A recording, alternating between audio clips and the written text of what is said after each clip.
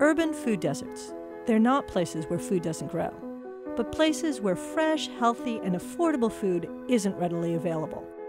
Throw a dart at a US map and you're likely to hit one. They're in low income areas of big and small cities all over the country. And as urban populations continue to grow, food deserts will also spread.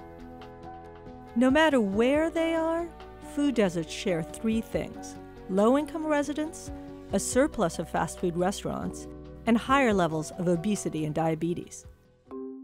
But Berkeley Lab wants to change that by changing where and how we grow food.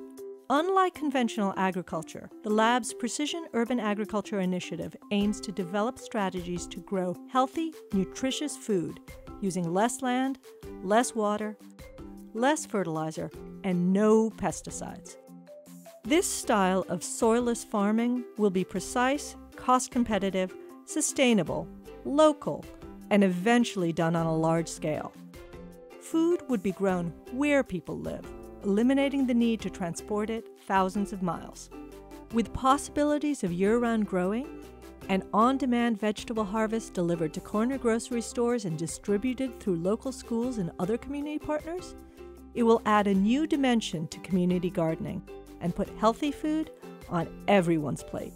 The biggest hurdles are technology and cost. Building on Berkeley Lab's expertise in everything from energy efficiency in water to beneficial microbes, discoveries will be plowed into helping innovative urban farmers deliver affordable and accessible yields.